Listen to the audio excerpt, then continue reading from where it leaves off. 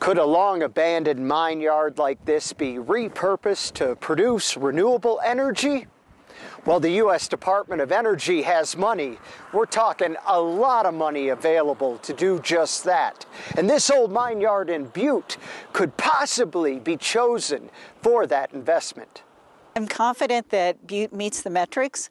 Um, I think that it takes more than just Butte. It will take the state and other individuals to get involved to say this is the right place for this development. Ultimately, the Department of Energy will decide the right place in a nationwide search for renewable energy development on unused mining land. They will pick two to five locations for the $500 million project to put solar, wind, and other renewable energy sources on that land.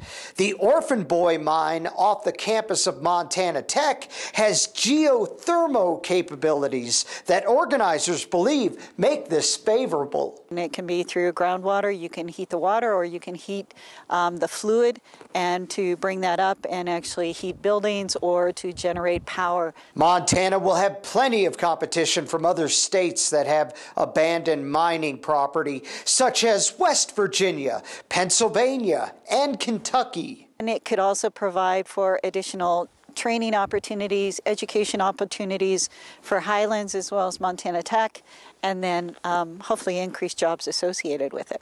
Proposals need to be submitted by 2023 to be reviewed by the Energy Department. Um, it is an opportunity that we should take advantage of and try for, um, and to be um, working towards something.